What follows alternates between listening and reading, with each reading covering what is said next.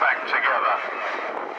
Though Bruce giving a very good account of himself in that 2 litre Vauxhall powered in the bright green car. On on is next. we finally got past Craig Percy, the Jaguar Land Rover engineer with the Moggy Minor the mighty Moggy.